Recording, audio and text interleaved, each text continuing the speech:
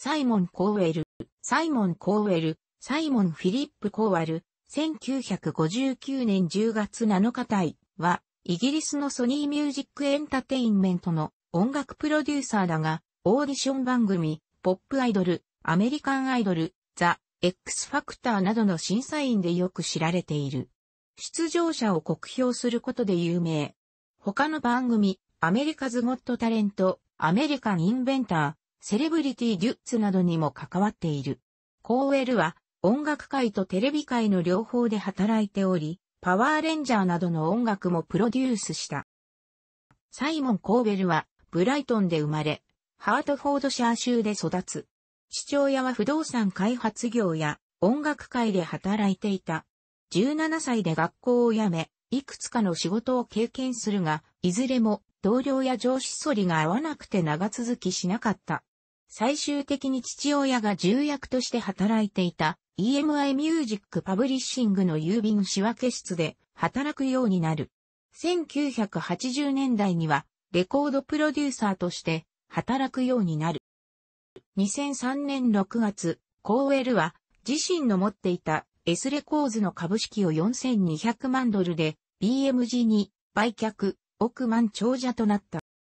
2006年、コーウェルは2つの大きな契約を結んだ。アメリカではさらに5年の間アメリカンアイドルの審査員として泊まる契約を交わし、1シーズンごとに2000万ポンド、4000万ドルを受け取り、ことになった。イギリスでは ITV とは3年間の契約を交わし、ザ・ X ファクターの放映権、またウエストエンドで上演されるミュージカル、グリースに出演するスターを探す番組、グリーンスイス・ザ・ワードに関して1300万ドルを受け取ったと言われている。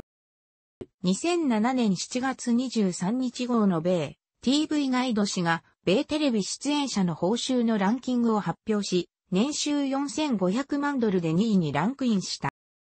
2009年11月、経済誌フォーブス氏がアメリカのテレビ界で最も稼いでいる男性のランキングを発表し、2008年6月から2009年6月までの収入が7、500万ドル、日本円で約67億5、0円で1位にランクインした。このランキングの上位にランキングされた男性出演者のほとんどが事業なども手掛けていて、コーウェルは、映歌手、レオナ・ルイスやスーザン・ボイルの契約するレコード会社を所有している。2010年12月、同氏がエンターテインメント業界で最も稼いだ人物のランキングを発表し、8、0ドル、日本円で約65億6、0円を稼いで11位にランクインした。2011年5月、A サンデータイムズ氏が A 音楽界での長者番付を発表し、推定資産2億ポンド、約266億円で6位にランクインした。この資産は2010年から3500万ポンド増加している。2011年8月、米 TV ガイド氏がドラマリアリティ番組に出演する高額ギャラ俳優、女優を発表し、1シーズンにつき7500万ドルを稼いで、リアリティ番組部門のトップになった。2011年9月、ホーブス氏が2010年から2011年で最も稼いだエンターテインメント界の男性のランキングを発表し、9、0ドル、日本円で約68億4、0円を稼いで5位にランクインした。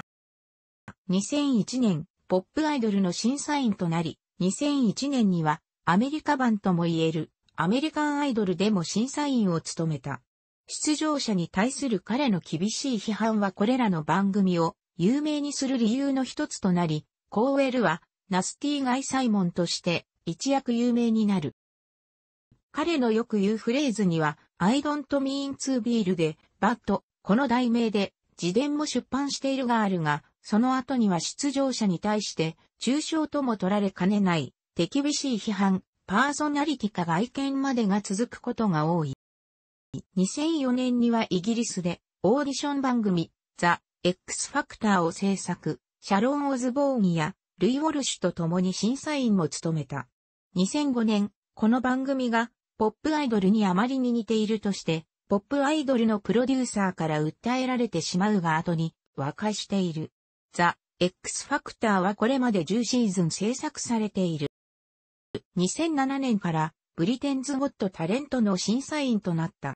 サイコ所属アーティスト。以前、サイコに所属していたアーティスト。辛口の批評で有名になったコーエルは、フィンランド出身のシンガーソングライターの曲、サイモン・キャント・シングで、サイモンは歌も歌えないしダンスもできないと揶揄されている。楽しくご覧になりましたら、購読と良いです。クリックしてください。